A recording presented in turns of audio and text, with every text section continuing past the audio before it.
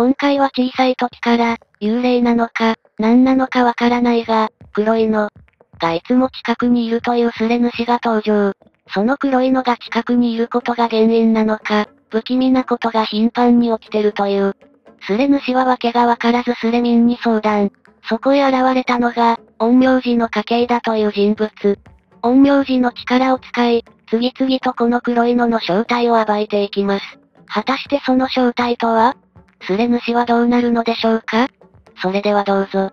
黒いのがずっと近くにいる。次々と不幸なことが、そして、陰陽師家系の人物が、突然現れた結果。俺が出かけるときは常に俺の近くにいる。見た目は黒くて人間の形をしてるこいつがなんかわかる人いる？ある時っていうのは、俺が5歳から8歳くらいの頃に、おじいちゃんの兄の家に行った時なんだけど、家には俺とじいちゃんと二人で来た。で、じじい兄に挨拶してから庭でゴロゴロしてた。おもちゃも何も持ってきてなかったからすることがなくなって、家を探検することになった。じいちゃんとじじい兄は座敷で話してたから、邪魔にならないように心がけた。探索してると庭の隅に倉庫みたいなのがあった。家の門からは見えなくて、家外からも見えない程度の大きさ。倉庫からは何か変な感じがした。別にその時は何も考えなかった。それで倉庫に入った。倉庫の中には筆だとか、変な紙、仮面、壺、お皿とかが入ってて、期待外れだなって思って奥の方に進んだ。奥にはさらにドアがあって、これが錆びてて開きそうになかった。もういいかな。ってドアに背を向けた瞬間にドアからバキって音がした。何事か？と思いながら振り返るとドアが半開きになってた。不気味だなぁと思いながらもドアを開けて中に入った。中は足元には本、壁には変な文字、墨汁みたいなの、赤い糸、だとか、本当に気味が悪いものばかりだった。それで部屋の奥には机があった。机の上には小さくて丸いものが置いてあった。それを見た瞬間になぜか助けてあげなきゃって思った。なぜそう思ったのかは今でもわからない。それで気がつくとその丸いのに触れてた。振ってみても中には何にも入ってなさそうだった。それで、地面に叩きつけた。なぜ地面に叩きつけたのかはわからない。多分無意識にやってた。でも何も起こらなかった。それでその倉庫から出た。この後夜ご飯を食べて家に帰った。次の日、朝早くに目が覚めた。時計を見ると午前3時くらいだったと思う。トイレに行こうとドアノブに触れた時に違和感を感じた。違和感を感じたのはドアノブではなく俺の背後の右後ろ。なんというか痺れるような感覚がした。でとっさに振り向いた。何もなかった。でもなぜか隅の方がものすごく黒かった。で、トイレを済ませた後また眠った。朝起きるとすごい嘔吐感に襲われた。トイレに駆け込む前に戻してしまった。母に体温計で熱を測られると案の定風邪をひいてた。今日は学校休みなさいと言われしぶしぶ部屋に戻った。部屋に入った瞬間に見た。本棚の横に黒い奴がいた。全身黒かった。目とか口、鼻とかはなくて、とにかく悲しいくらい黒かった。大きさは当時の俺と同じくらい。その時はびっくりして何も声が出なかった。でもなぜか恐怖はしなかった。というよりなぜか安堵した。黒いのに触れてみようとしたけど触れられず、声も通じない様子だった。そして全く動かない。その時はとにかく眠たくてベッドに入って、そいつにお休みって言って寝た。起きると夜の10時だった。まさかここまで寝るとは思わなかった。お腹が減ったので下にご飯を食べに行き、また部屋に戻ってきた。もう嘔吐感はなく風邪もすっかり治った。部屋に戻ると黒いのは俺のベッドの横に移動してた。見てるよ。それからそれから黒い影か。怖いな。暇だったのでベッドの上でゲームボーイをしてた。と見ると黒い奴の頭が動いた。ゲームボーイの画面を覗くような仕草だった。見たいのかな？と思い、いろいろ見せてあげた。この頃ポケモンが流行っててポケモンをしてた。でも俺はそんなに友達がいなくて、ポケモンの話をする奴がいなかった。黒い奴に一方的にポケモンの話をしてやった。俺の好きなポケモンは何だとか色々。黒いのはずっと話を聞いててくれた様子だった。で、いろいろ話してる途中にお母さんが入ってきた。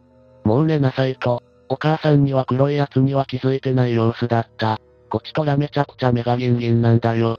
とか思いながら、また明日の学校のために寝ることにした。黒いやつの体が笑ったように震えた。黒いのにお休みって言って、また寝た。笑った、だと？それはそんな悪いもんでもないのか？次の朝、目が覚めると黒いのは、また部屋の隅の方に棒立ちしてた。おはようと一言言って部屋を出ようとすると、ふと思った。こいつはご飯いらないのかなと。で、ご飯欲しい？って聞いてみた。反応はなかった。制服に着替えて学校に行った。登校中は黒い奴は見当たらなかった。うちでおとなしくしてるのかなと思った。学校に着いて朝の学活が始まった時にふと隅の方見たら、黒いのがいた。何か笑えた。ここから中学くらいまでの期間、特に目立ったことはなく俺は成長しました。中学生になっても黒い奴のことは、よくわからなかった。ただ分かったことをあげると、飯はいらない。俺と一緒に成長する。絶対俺のそばから離れない。超能力のような力は俺には使えない。質問があったら書いてくれると返答します。で、大きな事件が中二病真っ盛りの中学2年生の時に起きた。中学生になってもゲームは好きで、よく家では黒いのに話しかけたりすることが多かった。そして中2、今で言う中二病。中2の夏休みに入る前日好きだった子に告白した。OK された。めちゃくちゃ嬉しかった。一緒に帰って、手も繋いだ。人生楽しいと感じた。家に戻り、部屋に入ると黒いのが隅にいた。大きさは中2の俺と同じくらいの大きさまでに成長していた。中二病の俺はこいつに、かっこいいセリフを吐き、ご飯を食べに行った。俺の家族には黒い奴のことは一切話さなかった。どうせ変な目で見られると思ったから。そして部屋に戻りドアを開け、踏み込んだ瞬間に紙を踏んだ感覚があって、下を見ると変な文字が書かれた紙があった。変な字というか下手な字だった。この時俺は妄想力豊かで黒いのがこれを書いたのかな？と考えて、なんとかこの文字を解読した。結果、文字はこう書かれてた。私がいる、って書いてた。黒いやつを見るとまた笑ったように震えてた。俺は初めて黒いのが怖いと感じた。そして夏休み中旬になりそろそろ宿題やるかなと思い始める頃、彼女からデートのお誘いが来た。普通これは俺からするもんじゃないのかと思ったけど、嬉しかったので気にしなかった。その日はドキドキして眠れなかった。眠ったけど、次の朝、気合を入れて朝に風呂に入り、髪をセットし、デートに挑んだ。結果から言うとめちゃくちゃ楽しかった。ただ、黒いのが気になった。終始体が震えてたから、観覧車に乗った時も黒いのは笑ったように体が震えてた。幽霊付き添いのデートとか、怖っ。でもそんなことよりも楽しんだ。人生で一番楽しい日だったかもしれない。彼女を家まで送り、玄関の前で人生初のキスをした。何か盲信でもいいと思った。彼女はまた今度両親に挨拶だねって言って、家に入った。次の朝、ドタドタと階段を登る足音に目覚めた。何事かと起きたらお母さんが入ってきて一言。彼女が多品だって、俺は一日中泣いて、泣いて泣きまくった。黒いのは終始笑っている様子だった。それも今までよりもずっと体が上下に震えてた。呪い殺された？うわ、彼女さん、まさか、な、こいつの仕業だと思ったから、俺は黒い奴に大声で罵声を吐いた。この時は錯乱してたから、何言ってたか覚えてない。で、切れたかのようにベッドに入って寝た。彼女の葬式に行った。彼女の家族は泣いてた。俺はもう泣かなかった。というより泣く気力がなかった。鼻を入れる時に黒いのは、彼女の顔を覗くように頭を伸ばし、笑っている様子だった。ちょっと風呂入ってきます。どうぞ、待ってますので。嫉妬で殺したっぽいから、黒いのは女なのかな。髪が残ってたら見てみたいわ。一人かくれんぼで黒いの召喚したやついたよな、確か。見てる。戻りました。葬式が終わり家に戻った後、じいちゃんから電話がありました。またそっちに行くと。その頃からじいちゃんが家に来る頻度が多くなりました。それから中学の時期は、学校に行くことは少なくなりました。中学の彼女の多否因は交通事故です。高校生になり、一人の自称霊が見えるやつと友人になり、いろいろ話しました。俺からは変な気が漂ってると。少し笑いましたが真剣な顔だったので、続きを聞きました。他人には話すことはないだろうと思っていましたが、黒い奴のことを話しました。こいつなら面白い返答が来るかもと期待を抱きました。彼は少し考えた末に、わからないと。残念。だけど少し調べといてやるといい。その日は解散しました。家に帰るといつも通り部屋の隅に、黒いのがいました。この頃はこいつを怒らせるのはまずいと思い、機嫌よく話しかけていました。黒いのは珍しく笑っている様子でした。次の日学校に行くと担任の教師が自称霊が見える奴が亡くなったと。二人目も犠牲者か。お兄さんは一輝くんも異変に気づいていたんだね。他死因は交通事故。彼女と同じです。彼が他死んだことを聞いて、僕は吐き気がして担任に言い、トイレに駆け込みました。黒いのはトイレの隅の方にいます。その日、家に帰るとじいちゃんがいました。久しぶりに顔を見たのでなんだか安心してしまい、泣いてしまいました。今までじいちゃんは家に来ると言っても、俺の顔を見ることはなく、すぐに帰っていたからです。じいちゃんは、ほれほれといいみかんを渡しました。そして30分ほどこたつの中で、二人無言でみかんを食べ続けました。そして一段落落ち着いた時にじいちゃんが一言、兄ちゃんとこ行くかと。黒いのは珍しく僕の見える範囲にはいません。黒い奴のことを知ってるのかと反射的にじいちゃんに聞きました。するとじいちゃんは驚いた様子で、ここにいるんか？と質問しました。俺は、何か今は珍しく近くにはいない。というより初めて。というと、じいちゃんは満足そうに笑っていました。僕はじいちゃんに、黒いあいつのことを吐きました。あいつのせいで人が他死んでると。どうにかできないのか。じいちゃんは、俺にはわからん。実際兄ちゃんも知らん。まずは兄ちゃんとこ行こか。そういい俺はじじい兄の家20年ほどぶりに行くことになりました。じじい兄の家までは車で行きました。行く途中僕は助手席に座っています。一方黒い奴は後ろの席にいました。うちではいなかったのに、なぜ今はいるのかと、疑問を抱いたけど特に何も言いませんでした。じじい兄の家に着き家に入りました。久しぶりに見たじじい兄は元気そうでした。よく来たなと、俺はまた嬉しくなり泣きそうになりました。黒い奴は玄関隅で立っています。そしてじいちゃんとじじい兄、俺とで世間話をした後に、じじい兄が言いました。黒い奴のことはよくわからん。僕の親父、それからもっと前から続いてるから、あの倉庫は普通入られんようにしとるがな、なぜか君は入れたんやろか。あの丸いのはな、気がついたらあったんやと。そういう筋の門に見せたら厳重に守ること。って言われたらしくてな。それで今まで何事もなく無事に暮らしてたんやけど、俺は少しイラついてて、ここまで来たのに何もわからずしてどうする？と怒り半分で答えました。じじい兄は、なんとかしたる。今日は休んどけといい。その日は特に何もなく終わりました。黒い奴はずっと俺のそばにいます。次の日、目が覚めると黒い奴がいませんでした。じいちゃんたちに挨拶をしに行こうと、今の襖を開けると、黒い奴がいました。そしてその下に倒れているじじい兄がいました。黒い奴は笑った様子で体を震わせていました。俺はもうこいつはどうにもならないと、そう確信しました。そして黒い奴にお前のせいで俺の人生狂っただとか、色々と今までの不満をぶつけました。そして最後にお前なんか消えろと。少し間が空いた後、顔をこちらに向け黒い奴が叫びました。キャーと言葉にできないような悲鳴が発せられ、俺はやってしまったと感じた時に、じいちゃんが何事か？と走ってきました。じいちゃんには声が聞こえた様子でした。もう俺は他死ぬ覚悟をしましたが、悲鳴が止まった瞬間に黒い奴は消えました。その時から黒い奴は俺のそばには現れません。じじい兄は無事でした。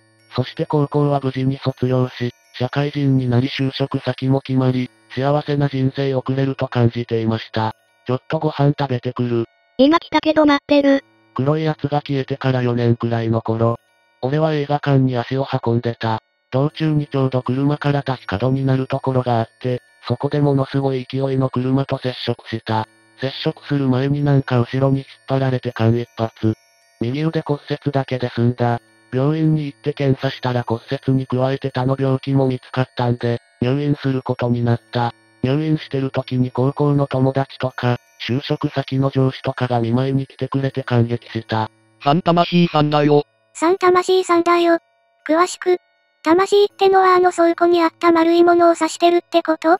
黒い奴がいなくなってから最初は嬉しかったけど、黒いのがいないのなんか心寂しかった。入院部屋は個人部屋ではなかった。俺のベッドは窓際だったんで、暇な時は外でも見て暇つぶしてた。またその日もふと外を見たらやけに黒い影があった。でも特に気にしなかった。そして無事退院してまた仕事に復帰した。ある日、友人の男と会うことになり、待ち合わせ場所の喫茶店にいた。待ち合わせの時間を過ぎても一向に来る気配がなかった。何かあったのかと思い電話をかけた。すると電話からいきなり、やばいやばい。と叫び声が、どうした？と聞くと、なんか女が、ずっと笑ってるやつがずっとついてくる。俺は黒いあいつだと思った。でもあいつは人には見えないはずなのに、まあとりあえず早く喫茶店来い。と伝えて電話を切った。彼が来たのは待ち合わせの時間から1時間ほど経った頃、息を切らして走ってきた様子だった。ああマジだったんか。と聞くと、彼はほら、まだあそこ。指さしたその方向を見ると、ワンピースの綺麗な顔立ちをした女が、笑って立っていた。君が悪いことには慣れていたので特に気にすんなと言ったけど、彼はマジでやばいやばいと半泣きの状態だった。ワンピース美少女とかの S。黒いやつが書いたメモ残ってる？残ってないな。また書かせることもできるかもしれんけど、少し話してきてやるといい。関を立ちワンピースの女性に話をかけに行った。すいません。と一言かけると彼女は、はい。と返した。どちら様か問いかけると、ただの買い物をしていた女の子だった。彼のことを知ってるかと聞くと、大学の時の友人みたいだった。ちょいこっち来て。と彼のいる席に二人で向かった。彼はちょちょちょ。と焦った様子で窓越しにこっちを見てた。それを無視してまた喫茶店に入ると彼は目を丸くして、ん？と驚いた様子だった。彼は、あれ？ん？どうなってん俺にもお前の反応がどうなってん？と感じながらも女性を座らせた。彼は俺に、なあなあどうなってるのこれ？俺見た人と違うぞ。と言って、俺が見たの黒い服着た人なんだけどは？これマジでやばいわ。女性はポカーンとした顔だった。その日、彼と女性は俺と解散した後も二人で飲みに行ったらしい。後日談として二人は結婚した。そして毎日の時間はあっという間に過ぎた。そして先月11月、ジジイや新潟品だ。葬式には人が少なかった。泣いている人は少なかった。葬式が終わった後ジジイ兄の家に行った。理由は倉庫に入るためだ。何かあるかもしれないと思いそう決心した。久しぶりに入る倉庫は小さく感じた。昔の俺からすれば、大きいんだろうなと物思いにふけてた。そしてあのドア、南京錠がかけられていた。なんとか入りたかったから色々試したけど、めちゃくちゃ頑丈で開けられなかった。俺に以外にここに入る奴いないだろと思い、すまん。と思いながらドアごとぶっ壊した。ドアは本当に脆かった。中身は昔見た状態ではなかった。昔は下には本が散らばって、壁には不気味な仮面だとか書けてあったが今は違う。床には血の跡のような痕跡。棚には爪のようなもの。髪の毛などがあった。恐怖で多死ぬかと思った。だけど前と同じものがあった。机の上にはあの丸いやつがあった。それに前のような汚く汚れたものではなく、綺麗なものだった。少し血はついてたけど、この血、髪の毛とかは何のためにあるのかはその時わからなかった。ここから記憶がない。気がついたらじじい兄の家の座敷で寝てた。横には、じいちゃんがいて、部屋の隅にはあいつがいた。久しぶりに見た。黒いのは少し大きくなっていた。そして右腕がなくなっていた。じいちゃんは俺の横で座りながら、寝てたので起こさないように黒いやつに話しかけた。なぜここにいるのか、お前はなぜいなくなったのか、お前には人を殺しても罪悪感という感情はないのか。と、黒いのは少し頭をかしげた。するとこっちに歩いてきた。歩いてる姿は初めて見た。そして俺の横に立ち、うん立っただけ。久しぶりに笑った。それだけかよと黒いのに言った。夜になってじいちゃんと話した。じじい兄から俺宛ての手紙があると、手紙の内容を簡単に書くと、じじい兄が黒いのを財布印のようなものをした。そのためには生贄みたいなもんが必要。あの結婚、爪、髪の毛、その他もろもろはじじい兄のもの。そして俺にはもうあの倉庫には入るな。と。そしてもし、また黒いのが出たら次はじいちゃんが封印しろと。あとは黒いのが何者か、なぜ顔、体がないのか、などの事柄が書いてありました。今現在じいちゃんにはこの黒いやつのことを話していません。じいちゃんではなく、俺が始末しようと思っています。以上です。なんか質問でもあれば、今どんな状態？俺の横に黒いのが立って、俺は iPhone で書き込んでいます。黒いのは寄生した人間が気に入れば命を救うことがあるみたいです。ですが気に入らない人間がいれば殺します。命を救われた経験は、おそらく交通事故の時です。後ろに引っ張られたおかげで右腕の骨折だけで済みましたが、その後後ろを見ても誰もいませんでした。そしてなぜか黒いやつの右腕がありません。黒いのは性別は一応女。時代は不明ですが昔街を歩けば、みんなが振り向くほどの美貌を持った女がいたそうです。ですがその女は人を殺すことが好きだったらしい。その女に近づく男は数知れず、ですが女に気に入られる男は一人しかいませんでした。ある夜女は人を殺すために家を出ました。そして人を殺している姿をその男に見られがために、男までを殺してしまったと。そしてその女は自分がタヒ沼で、何人もの人を殺して殺して殺しまくったそうです。自分がタヒ沼でもあの男の子のことは、一瞬とも忘れることはなかったらしいです。その女はタヒんだ後も霊体となり、人を苦しめていたらしく、そのことを聞きつけた人がその女を丸い奴に封印したようですね。そんでなぜかわかりませんが今は俺の祖先が引き継いだと。俺が黒い奴が気に入った男に似ているみたいですね。手紙に書いてあった黒いやつの詳細を覚えてる範囲で書いてほしい。あと、寄生した人間と共に成長すると書きましたが、成長するためには寄生した人間の力を常に食っているようです。顔、身体の形がなぜないのか、なぜ黒いのか、なぜ触れることはできないのか、なども書いてありましたが、流すように見たのであまり覚えてないです。そしてあの、私がいる、と書かれた紙は黒いのが書いたものでした。頑張ればあっちからは触れることができるみたいです。やっぱり女だったか。そんな感じしてた。いきなりで申し訳ない。主様に一つしてほしいことがあるのですが、良いですか？なんすか？病院行けとかでもまあ、今なら笑えるから何でもいいですよ。ありがとうございます。主様にしてほしいことは簡単です。目をつむり深呼吸を2回ほどしながら、頭の中を真っ白にするイメージで、大きな白い画用紙を思い浮かべてください。画用紙を思い浮かべましたら、その画用紙の中央からだんだんと穴が開くのを感じ取ってください。もし、その穴の向こうに景色が見えたりしましたらご報告をお願いいたします。すいません。最近 FF10 をやっていまして、穴からはエフリートとかが這い出てくる様子が浮かびますね。なんかすいません。白い画用紙のやつを行って、女性が見えた人にも黒いやつは、助けを求めているってことでいいのかな？これは何が見えると正解になるんでしょうか？何度もやってもエフリートっぽいのが這い出てくるんですが。笑い。一致が体調悪い時とかって、黒いのはどんな感じなのか教えてほしい。関係ないかもしれないけど、腕がなくなったのが少し気になって、俺が風邪だとか体調が悪い時はいつもより俺の近くにいます。例を挙げる、といつもなら隅にいるのにベッドの横で立っていたりだとか、それと風邪だとか、少し症状的にも軽いものだとすぐに治りますね。それが黒いやつのおかげなのかはわかりませんが、サンクス、それと右腕ですが、引っ張られなかったらそのまま、飛び出して俺の右手がなくなっていたと思います。寄生しているってのは置いといて、一気に危害を与えるつもりはないっぽいね。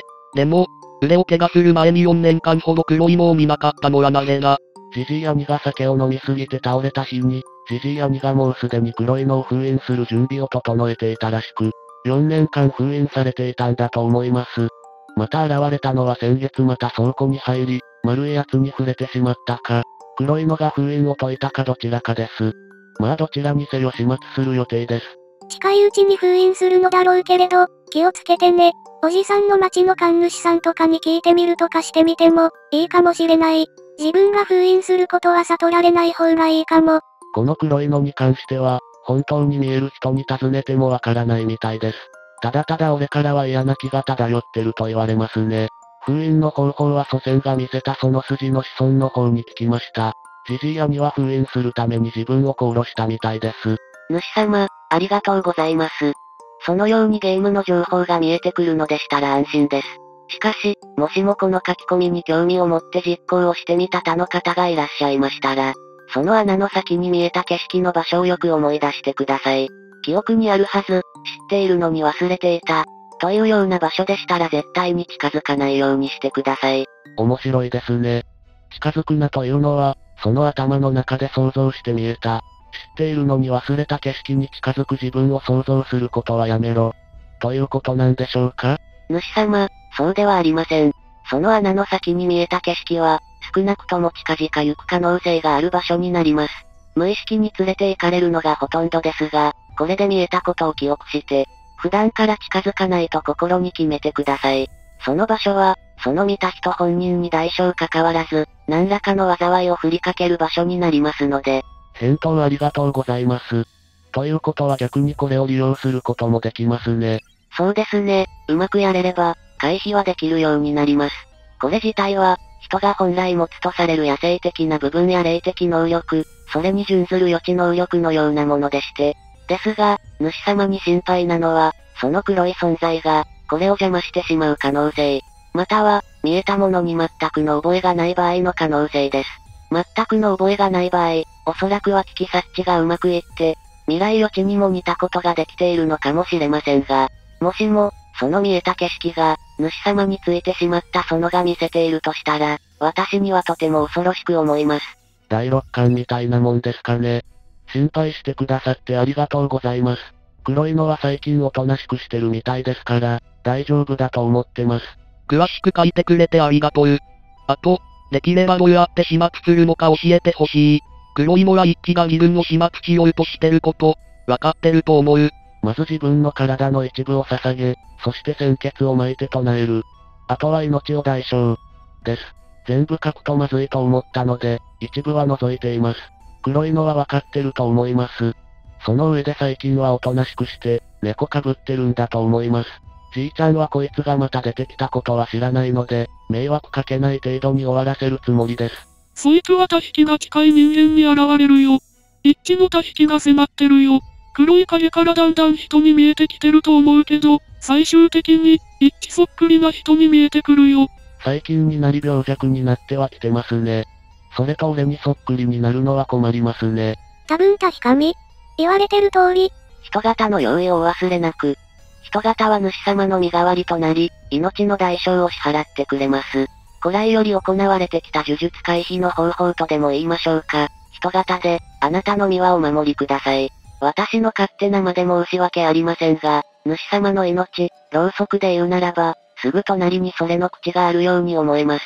優しく吹いて勢いを増させるも、強く吹いて10日を消すもそれ次第、どうか、お気をつけて。人型ですか？こいつが消えるまでのお守りとして持っときますね。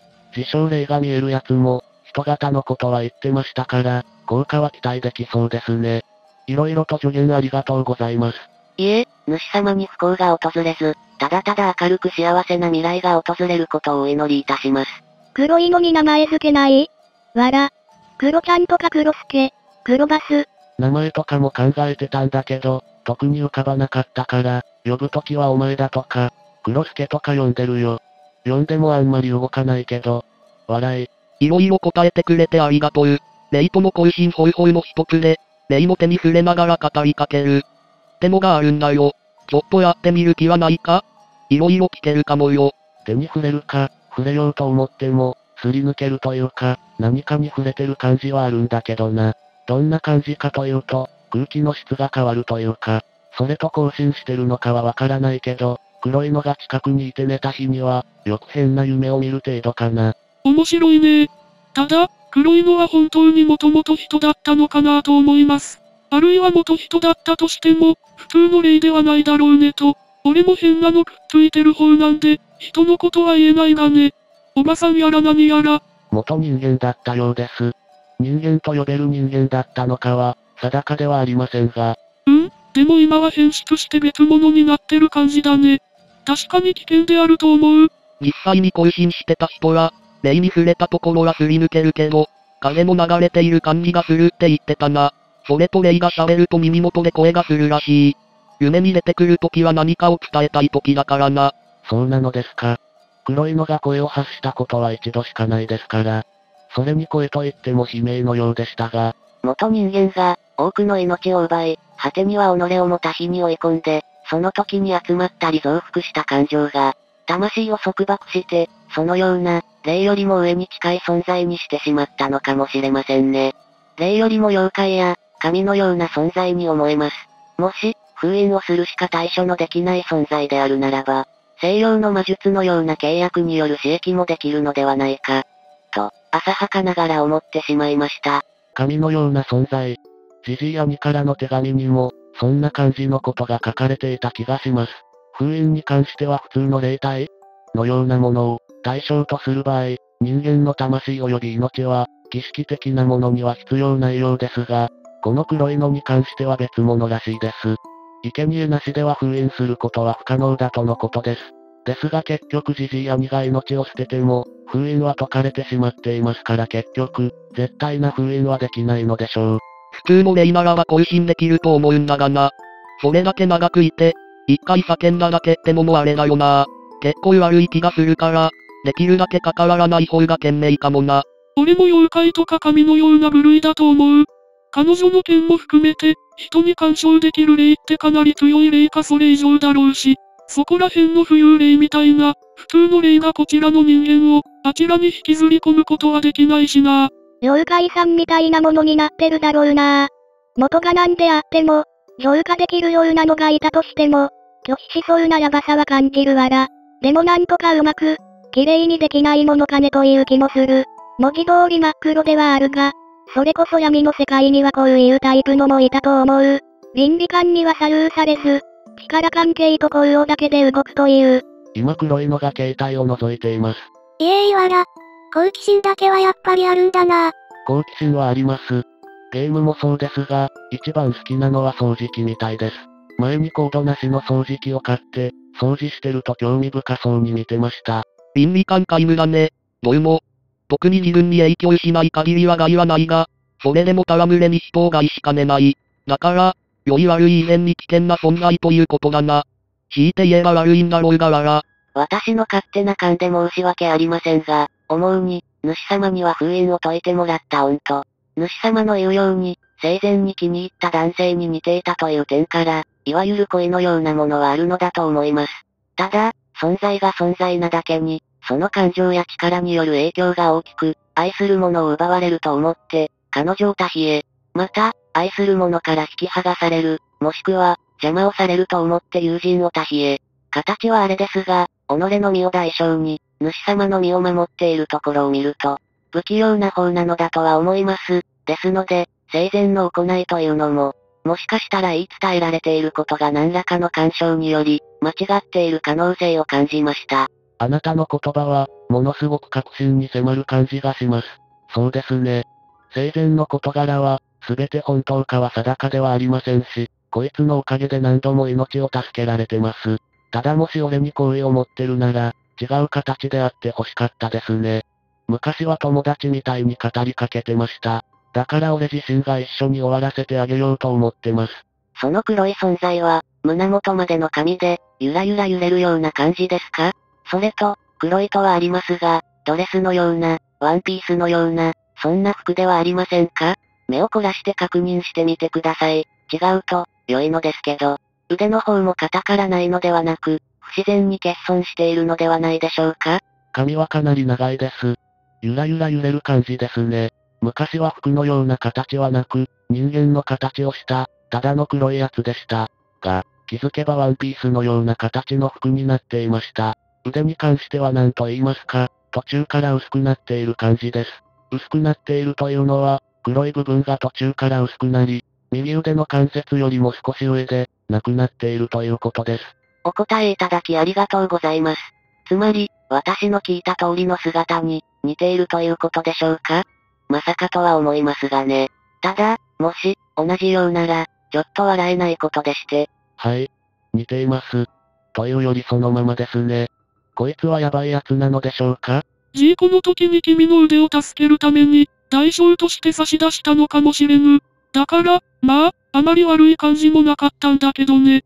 嫉妬深くない女というのも、正直あれなものだし、レイとかが着る服については、面白いことに、時代に合わせて変えてくる時があるのだ。だから、日本の神々も清掃は、ともかくカジュアルな服は、どんな格好かわからんぞあら。形でワンピースと判断してます。言ってみると、人間のシルエットみたいなもんですから。リアル影少女みたいなもんだろ。わかるよ。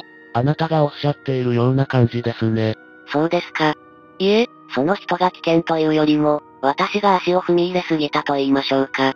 泣いてる女性が脳裏に浮かび、特徴が気になったのでお聞きいたしました。笑えないというのは、多分ですが、泣いてるのは私を含めまして、多分ですが、同じように確認されている方がいるかもしれませんが、その人たちに助けのようなものを求めているのではないかと。霊体に同情は禁物ですが、これは同情よりも危機感ですかね。なんだかこのままだと、主様の命は意味もなく失われるのではないかと。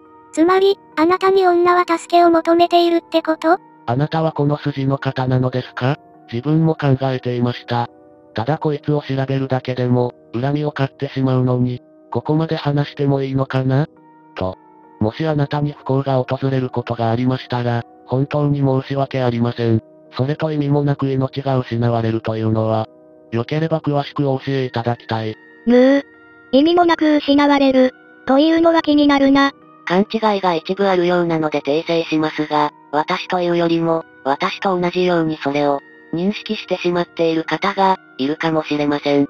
そして、その全ての人に、助けのようなものを、求めているのではないかということです。その筋というよりも、祖母から聞いただけですが、陰陽に関係を持つ家系だと、言われたことはあります。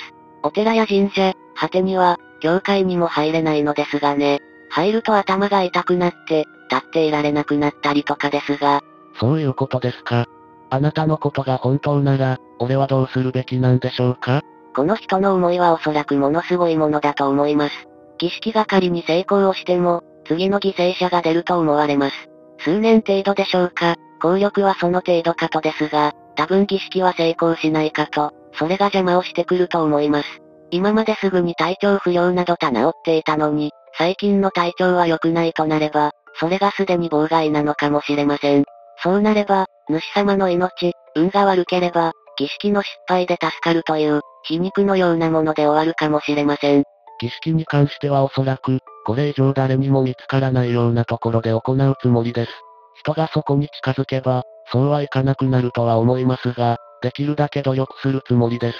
昔から日本では強い怨念を持った霊を、神として祭り上げ、怨念を守護の力として利用することが多かった。天満宮の菅原の道金小石狩り、三玉銀河のさらら神門、すごい天門や、神田明神こと平野正門小石狩り、そのように、一気の黒い存在も、封じ込めるのではなく、祭り上げる方法はないだろうか。強い力を持った霊だけに、守り神になったら、これ以上心強い存在はないだろう。一度、神社やお寺に相談に行ってみては。一度神社やお寺に行っても、そのようなことをしてるところはなかったんです。というより、そのような場所に行くときに、黒いのが邪魔しますので、行くことはできるだけ避けてるんです。それでじじい兄が言っていた、その筋の方に聞きに行った松にもうどうしようもないと。だから封印するしかないようです。お寺も念仏を唱えるだけのところでは無理でしょう。密教系か、修験道のお寺に行かれることをお勧めします。私は吉野山にご縁をいただいていますので、金プ戦時にはよく伺いますが、蔵王権現様や不動明王様におすがりしてはどうでしょう。どうぞ、無理なさらず。一度調べてみます。本当にありがとうございます。黒いやつは写真に撮れないのかな？霊的なものなら人によっちゃ見えるかも。見えたら見えたでやばそうだけど。写真ですか何度か撮ったことはありますが、俺にしか見えないみたいです。よければ写真をアップロードしましょうかこのくらいなら大丈夫かアップしましょうず。ただの部屋の写真になりかねないけどわら。部屋ではありませんが、この真ん中にいます。これ巻き受けにしたら、気分悪くなって吐いてもたごらら。ところでこの写真に例のものが見えた人は、誰もいないの？私はこの画像は真ん中よりちょい左に、ふくらはぎの真ん中くらいの丈のスカートと、足の影っぽいのが見えたけど、今のところなんともなし。なんかこの写真見てると怖くなってくる。封印の準備は整ってるので大丈夫だと。仮に黒がそれを妨害するなら、もうどうしようもありません。私が主様に言えることは、皆様の言う通りに、ちゃんとしたお寺や神社に相談をするべきかと。ただ、彼女がそこを嫌い、主様の行動を妨害するかもしれませんが、急な倦怠感や虚脱感などに負けず、必ず行くんだ時をしっかり持ってください。それと、彼女に、お礼を一言だけ、腕を犠牲に助けてくれてありがとう、とだけ言うのを、お勧めします。少しだけでも、彼女に光をあげてください。わかりました。そういえば、何があっても最近はこいつに感謝の気持ちなんて伝えたことないですから、一度一方的にしか喋れませんが、話しかけてみようと思います。そういえば、上で人型の話が出ているけど、一致さん、人形じゃなくて、人型だからね。髪を人の形に切り抜いて自分の分身にしたり、よく言うわら人形なんてのも、人型、本体を持っていかれないよう、人型を身代わりにさせるというのは、音業道ではポピュラーな方法なので、うまく活用してほしい。そして、これ以上犠牲が増えないことを祈るよ。写真、やめた方がいいですよ。見た人に念がばらまかれる可能性がありますから、下手すると無差別テロになりかねません。ご一行を、すいませんもうアップロードしてしまいました。皆さん見るなら一応、覚悟的なものを持っていてください。主様、確か、彼女に文字を書かせられるのですよね。それでしたら、うまくいくかはわかりませんが、筆談を試みてはいかがでしょうか？彼女がどうしたいのか、本当はどうして欲しいのか、それがわかればもしかしたら、良い方向に向かえるかもしれません。触れようと思えば、触れることはできるみたいです。少し頼んでみます。すみません。書く気はなさそうです。首をかしげて笑っています。こっくりさんならぬ黒いさんやな。写真見た人、タッシュを削除して、家の外で体に塩を巻いてきて、それだけでだいぶ気がうでしょう。皆さんすいません。さっきから、黒いのが笑っている仕草をしてます。大丈夫だとは思いますが、外に出るときは周りに気をつけてください。写真見たけど何も見えないし感じない。この写真だけだったら大丈夫だと思うがなちょっと、集中しすぎたかもしれません。頭痛と胸部に痛みが、でもこれは、彼女の影響ではないでしょうね。彼女、どことなく私のところの子に似ているので、あなたにはこいつの姿がわかるんですか？どのようなやつなんでしょう？こいつと一緒にいる時間は、とてつもないのに知らないことが多すぎて、どなたか、彼女の過去を見られた方はいませんか？もしかしたら、その人は、何か答えを出せるかもしれません。大原へスクシを上げておきました。これで皆さんの元にわがいことが行く可能性は少なくなったと思います。しかし、大変なことになったものが、わざわざすみません。俺にもそのようなことができれば良いのですが、私には最悪を食い止める力はありません。できるのは払いの真似事程度なので、あとは剣のある方にお任せします。主様、姿がわかるというよりも、多分、見せてもらったものが、真実ならば、彼女がいたずらに見せたわけではないのなら、彼女が一番の被害者なのだと、私は思います。これが正しい姿ならば、彼女は綺麗な人です。とても美しい人です。それこそ、男性を意識もしないのに魅了してしまい、襲われてしまうほどに。そうですか。おそらくあなたが本当に見たなら、それは真実だと思います。もう少しこいつのことを分かってあげようと思います。あなたのおかげで、こいつが少し救われたなら本当に感謝します。俺も自分の左側の肩あたりかな。不自然に冷たい感じがするが、これは俺の近くにいるのが、彼女を怖がってるのかもという気もする。なかなか大変な感じだよね。あなたの近くにも霊体がいるんですね。何か霊体、黒いのにも通じる話などがあれば教えてください。主様、私には彼女を救う力は、ないと思います。ですが、お伝えはできます。彼女が最初に殺してしまったのが、彼女を襲った男性なのでしょう。彼女の行ってきた殺人は、身を守るためだったのではないでしょうかそれがいつしか殺すことが好きな、殺人鬼などと言われ始めたのかと。気に入った、のではなく、心より信頼して愛した相手が、ただ一人、その男性が、他の男性に殺されたかなんかで、彼女が暴走をしたのかと。それまでの多くの男性の念が彼女を縛り、彼女は愛した人を失う悲しみの念にとらわれた。のでは、ないでしょうか。あなたのおっしゃっている通りに、黒いのに問いかけました。黒いのは笑って俺の横に座りました。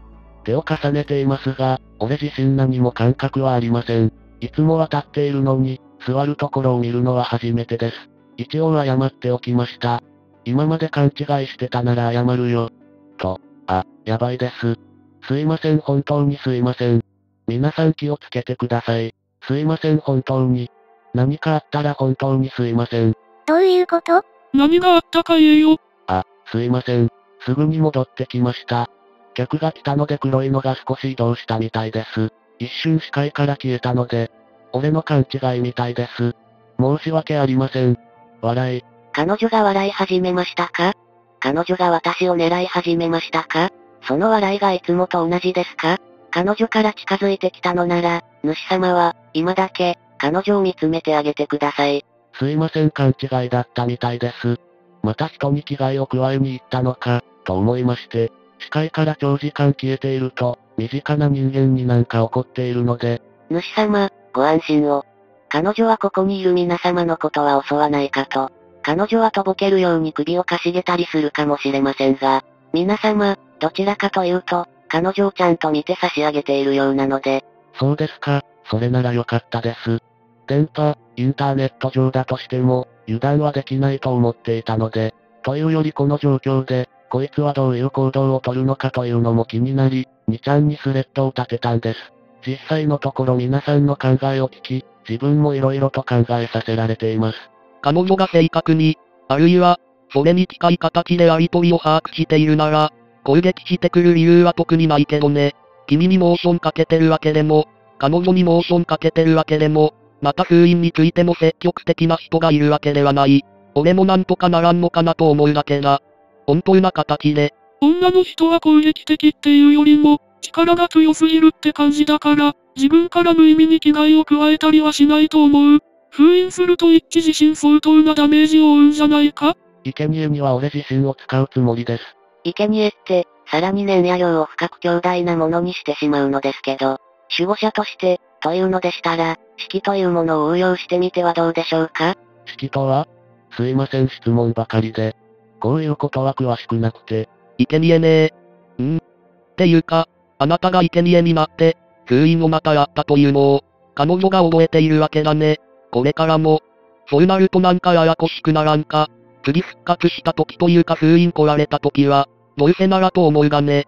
あなたが適正な寿命まで生きて、そして多品な時に一緒に遅れするとか、それはできないのかな。できるかどうかはともかく、できるとしたら、これはあなたにしかできんよ。嫌われてる奴とか、なんとも思われてない奴にはできないホイホイ。